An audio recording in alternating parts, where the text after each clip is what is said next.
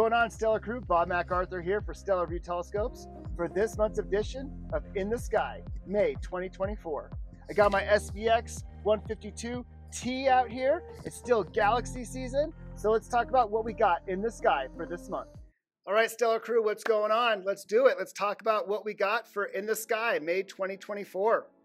So this month's observing highlights, kind of starting uh, the beginning of the month, we have the waning crescent moon in the morning, uh, starting with Saturn and then kind of skipping from Saturn to going in between Saturn and Mars, and then going uh, between Mars and Mercury, and then we have the new moon. So uh, yeah, fun little pre-sunrise show.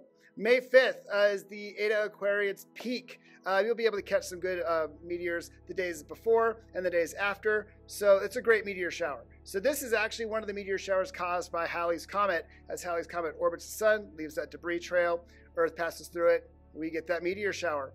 And then May 14th, I'm excited for this one. The moon is jumping in there with M44, the Beehive cluster. Uh, that's going to make a great pairing to, to view, so get out there and check it out.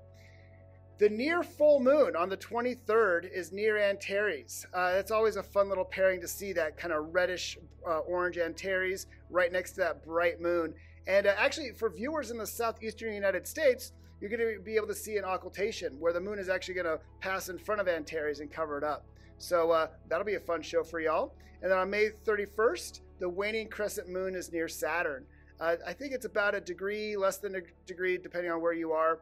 But uh, seeing that crescent moon pair up with Saturn is uh, is fun. So the planets are really starting to show up in the morning. Speaking of the planets, let's talk about the solar system. The sun is lit right now. As uh, you know. Um, no, the sun is really active right now. So many solar flares, M class solar flares, X class solar flares. Uh, actually, with all the increased solar activity, if you live in the uh, northern tier states, southern Canada, you could have that really good chance of seeing the auroras. I know super high latitudes, uh, it's getting a little too daylight out, and um, chances of seeing the uh, auroras are getting lower and lower.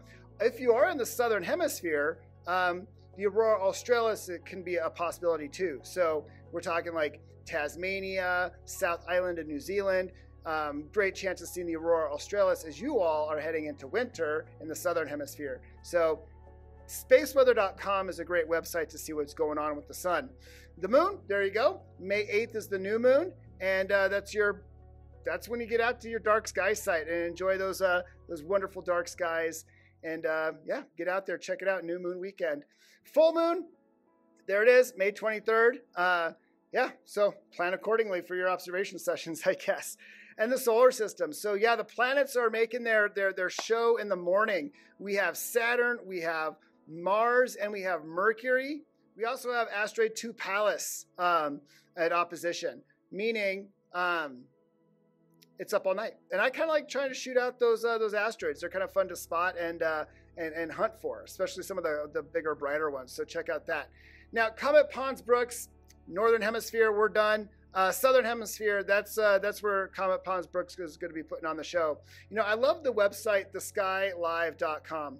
This is a good website to find out what asteroids are visible, what comets are visible, and where they are in the sky. So definitely check out the, the, the skylive.com.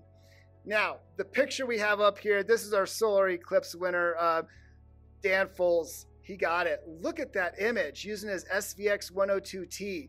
Great shots seeing the solar corona there Oh, look at that. And then if you look around the edges, you got the prominences. So great, great, great job there, Dan, getting the solar eclipse. And uh, congratulations on winning the uh, solar eclipse con- uh, contest. So there you go. We got a, a, lot of really good submissions. So thanks for getting those uh, images into us, y'all. So let's talk about star clusters. Um, you know, I'm not going to leave my southern hemisphere uh, friends uh, out of the game here. It is a great time to try and spot Omega Centauri.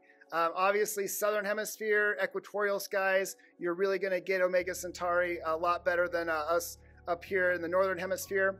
I have been able to spot it really low on the horizon here in Colorado, um, especially kind of in like central and southern Colorado. Arizona, I've been able to get it in Arizona. Hawaii definitely gets Omega Centauri. Uh, but again, southern hemisphere, get this thing. It is an amazing globular star cluster. Some research says that it actually could be um, a, a, remnants of a dwarf galaxy that is orbiting our galaxy. So hmm, check it out. It is beautiful through a telescope. I actually did get to see it uh, really good in Rwanda, and it was up there high. You could see it in naked eye. It's a cool, cool cluster to check out. Uh, but M44, again, you know, we got that meeting up with the moon. Great uh, open star cluster. And we have M67 still up there in, uh, in Cancer.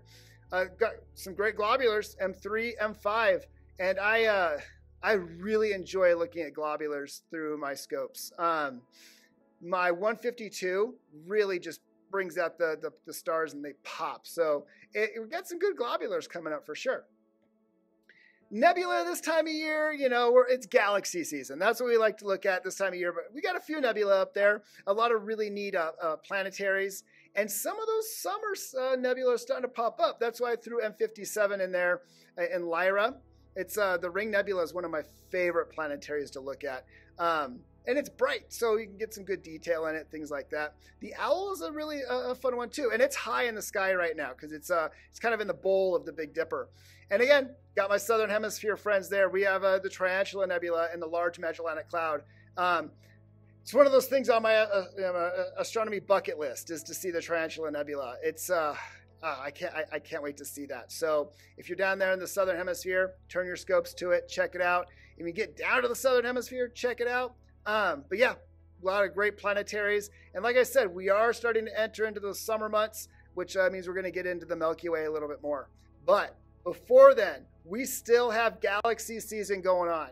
So Virgo, Leo, Ursa Major, Coma Berenices, all of them. It is great galaxy season, galaxy hunting time. Um, you know, you got you got the the Virgo cluster, M87, M104, the Sombrero Galaxy. You got the Leo triplet, M65, M66, the Hamburger Galaxy, NGC 3628, plus some other galaxies there in Leo. Ursa Major, the Big Dipper, just is littered with galaxies. Um, and then, of course, got some really cool uh, galaxies over there in Coma, the Coma cluster. My favorite personally is NGC 4565. Um, it is a really nice edge on spiral galaxy. So get out there, check them out. And I just listed a few. I mean, there are so many. Um, what are some of your favorites? Uh, uh, yeah, throw those up. Let, let, let, us know. Let's see. What are some of your favorite galaxies to hunt this time of year? I always like picking out some binaries. I think refractors do a great job getting that, that separation, the colors. So let's get to it. We've got Kuma up there, Nu Draconis. Nice pairing. Um, about the same brightness, about the same color. So check that one out. We have um, Delta Corvi. This one, this one's fun. It's challenging because you have a brighter primary and a kind of a, a, a fainter orangish uh, uh, companion star. So get in there and check that one out. We have um, Delta Serpens. Um, this one is is fun. They are a very very tight pair. So uh, your seeing will dictate whether or not you can separate this one. And then we also have my favorite out of the group, Alpha Hercules. Um, I really like this one. You have a really nice reddish orange primary and then a fainter blue uh, companion star. So uh, check check that one out. So some great binaries.